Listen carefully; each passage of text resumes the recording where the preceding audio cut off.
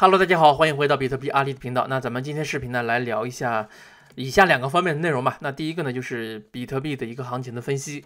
那么第二点呢，就是跟大家来闲聊一下降息的一个事情啊。另外呢，就是大家看到的这个题目以及头图上面显示的啊，那币圈即将出现巨大的这个机会。啊，咱们主要来聊这两个方面的一个内容啊。那在本期视频开始之前呢，做一个免责声明的，本期视频纯属个人观点分享，不构成任何的投资建议。那如果说你对币圈呢不是很了解，请不要轻易的把你的资金呢投到币圈里面来，因为这个行业呢是呃高风险的一个高风险高收益这个一个行业。那如果说你不懂的话，有可能会。失失去所有的资金。那如果说你想快速学习，并且在里面开始赚钱的话，你可以考虑加入我的这个会员群。那加入会员群的时候呢，你可以在这个描述区呢加入我这个免费的电报群，那找到这个群主，也就是我本人。然后呢，就可以私聊了啊。好，那咱们开始今天视频的第一部分的内容。大家看一下，目前大家看到的是比特币目前的一个走势啊。那如果说你是我的另外一个频道力哥区块链日报的观众的话，那么你可能会看到对这个熟图片呢非常非常的熟悉。那这个白色的区域呢，就是呃我画出来的一个六万一的六万一附近的一个压力位。那么目前来看，它在九月十三号的时候试图往上冲，但是呢给掉了下来。那么这这两个绿色的线呢，是一个收敛的一个三角形啊。那这是四个小时图出现了一个收敛的三角形。那么在今天的时候，今天早上凌晨的时候跌破啊，五点钟的时候跌破，跌破了之后一直在下方了。那这是目前的一个走势。那么也就是比特币在试图往六万一的方向去冲，但是呢，呃，冲这个。六万一失败了，那咱们在这个力哥区块链日报里面每呃每天晚上十点啊，在在这个美国西部时间洛杉矶时间的每天早上七点钟，咱们都会跟大家去分析一下这个清算的地图。那么我们在清算地图啊，在这里也跟大家来打开看一下吧。那在每天的这个清算地图的这个分析当中，咱们就能看得出来，那目前比特币呢，它是一个呃期货主导市场。那么用现货操纵价格来用期货来赚取最大的利益。那么我怀疑啊，这里面的现在这个庄家主力庄家控盘的资本呢，有可能就是几个大的交易所联合起来了。呃，因为他们知道现在交易所呢赚钱也很难，因为没有好的这种市场的行情出现，那么他们的交易费用呢也是非常非常的低啊。那么他们为了在这个圈儿里面呢，继续收割，继续完成这个赚钱盈利的这个模式呢，那么他们就会联合做庄啊。这我不知道我的猜测准不准啊，因为我没有一手的资料，我只是感觉到会是这样子的。那么。现在大家看到的呢，就是币安的这个清算的地图。那我们看到非常明显啊，这一百倍、五十倍以及这个二十五倍、十倍杠杆全部一清二楚。那主力庄家呢，同样的道理也是看得一清二楚。所以说，在这个行情里面呢，你去做合约啊，不管你去往哪个方向去开，那么最后的归宿呢，都不是太好。那我希望大家开合约能够都赚到钱，但是事实上你是很难。啊，就是持续的、稳定的去这个盈利下去啊。好，那咱们接着来看一下这个比特币的一个情况啊。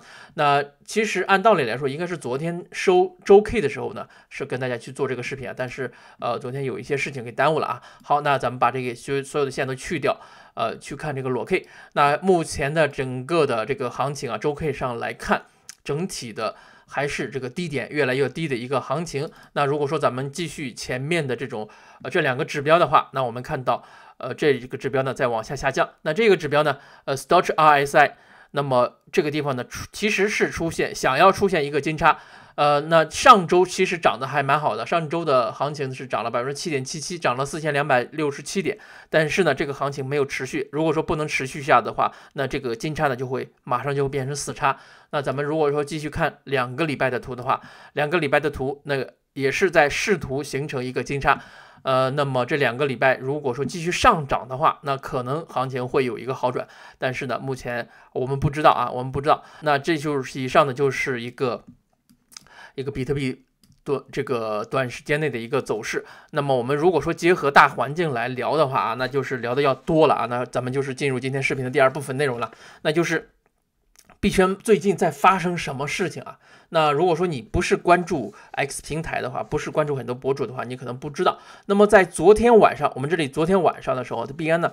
呃，上了一个小写的这个 narrow 的一个一个狗币啊，上了一个小写的。那么之前它是上了大写的这个 narrow 的呃合约。那么按照道理来讲，上完合约就要上现货，但是呢，他们没有上这个大写的这个现货，反而上了这个小写的现货。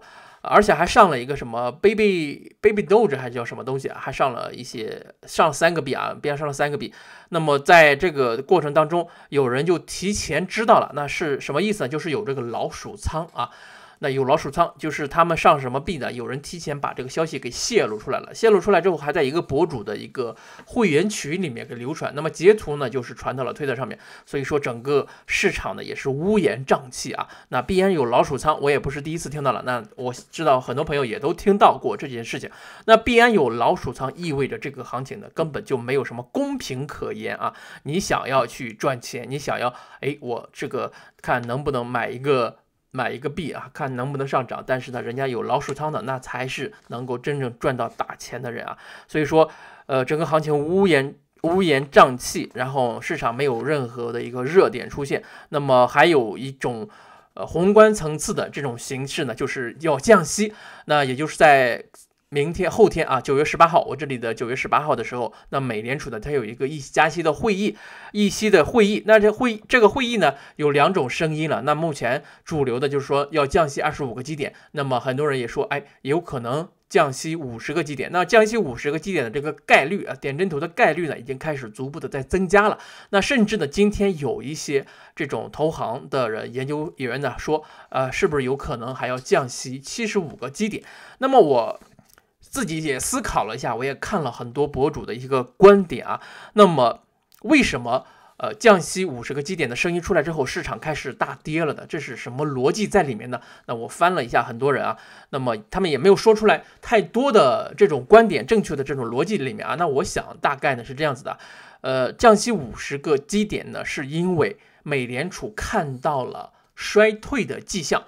那如果说降息七十五个基点的话，那也就是衰退呢是很难短时间之内把这个遏制住，也就是美国的经济呢要即将进入这个硬着陆的这个状态。那硬着陆的话，就是说意味着要有一个呃这种资产大幅度贬值的这种情况出现。那这是我们不愿意看到的，对吧？那目前我倾向于呢，这个是降息五十个基点，而不是呃七十五啊，七十五这个让人很难接受。那么即便是降息五十个基点，也是意味着美国经济呢即将出现新的一轮的衰退。那么这个衰退呢，一旦出现的话，它这个打击面对金融行业也好，对实体行业也好，整个的打击呢都是非常非常大的。如果说出现衰退了，那么意味着加密资产呢将会大幅度的贬值，那么也就是即将会出现我们要希望看到的一种抄底的迹象。那么比特币如果说再次回到五万以下，那么我就会大幅度的去买入了。那大家也可以去买入一下。那么目前呢情况呢就是整个币圈，我们刚刚也聊到了币安的情况。那么目前整个行业。不景气的还有一个重要的一个原因啊，那我今天呢也是跟呃宏观的一个博主叫周一流，我在这个社区里面也分分享他的频道给大家了一个一个女孩子啊，她的频道做的非常非常的好，我觉得整个讲金融呃宏观层次面的这个博主呢，我觉得他应该是首屈一指啊，应该是做的最好的了。那么我今天也问了他一个问题，我说传统的金融行业怎么看待我们这个圈子？那么他给我的答案呢，他没有说太多啊。呃，他说我们嗯不怎么碰加密货币，那我就理解了。那这这一点呢，是不是可以呃这么理解啊？就是第一个呢，就是在传统金融来看，那整个币圈呢，呃诈骗项目居多，那么他们的资金呢，通常呢都是受监管的资金，那么对出于对股东的一种这个负责任，他们不会轻易的把钱放到币圈里面。那第二点呢？就是是不是说比特币还有很长的路要走？那这里面呢，我只限于是比特币，而不是其他的任何的山寨币啊。那在我的这个眼里呢，除了比特币，那其他的所有的币都是山寨币。那么这个山寨币目前处于是一种什么样子的一种状态呢？呃，那么我们也可以去聊一下这个事情啊。那山寨币目前呢，就是很多项目啊，可以说是百分之九十九点九九九的项目，目前呢是没有一个稳定盈利的一个模式。那这是最大的一个痛点。那么在于传统的金融来看，你投资一个股票，那这个股票它没有稳定盈利的能力的话，那么也就是嗯不能够给股东持续的产生这种分红，那么也就是意味着这个估值呢不会往上上涨。那么我为什么要投资你？那所以说我们绕来绕去啊，投来投去，炒来炒去，那么最后呢万变不离其宗，那么我们最后又回到了。什么呢？价值投资的这个里面来了。那么币圈里面到底它有没有这种稳定盈利的项目？有没有可以持续赚钱的项目？一定是有的啊。那我之前也跟大家分享过。那但是呢很少啊。我觉得呃一只手应该能数得过来。那么我说我所说的这个即将出现重大的投资机会，那么也就是说在美联储。在降息五十个基点之后啊，那我希望是这个降息五十个基点，那有可能它会降息二十五个基点，把这个。衰退呢往后顺延过去，那么这也就是可能会印印证了这个之前啊咱们也聊过的神鱼说，那要做好准备，要做十六到十九个月的这个苦日子的一个准备。那么如果说是降息二十五个基点，那个这个衰退呢就会往后延推迟。那如果说是降息五十个基点，那也就是美联储看到了我们所没看到的一点，就是衰退已经开始了。呃，那我们做两手准备啊，如果说近期短期之内资产的大幅度的。贬值的话，那么你要去抄什么样的底呢？一是比特币，第二呢就是有稳定盈利的这种币啊，这种项目。那你如果说问我哪一个有这种稳定盈利的呢？那其实我要是说推荐给大家以太坊，大家肯定说，哎，你是推荐这个毛啊？那其实以太坊是有盈利能力的啊。呃，第二个项目呢就是这个 Solana 啊，第三个就是 Chainlink 啊。那我这是我自己的一个观点，我肯定会。呃，优先去抄底 Chainlink，然后是 Solana，然后是以太坊，呃，那不不不是优先啊，但最开始的一定是比特币，先把比特币买够了之后再说这其他的三个。那其你要是问我带有其他的有没有的，那其他的我都不不会再去抄底了啊。那我相信在这一轮的这个行情，在这一轮继续，如果说继续这么萎靡下去啊，那整个圈子里面再继续这么呃往下下沉的话，那么我们现在看的前排名前二十的这些很多的公链，很多的垃圾币啊，那。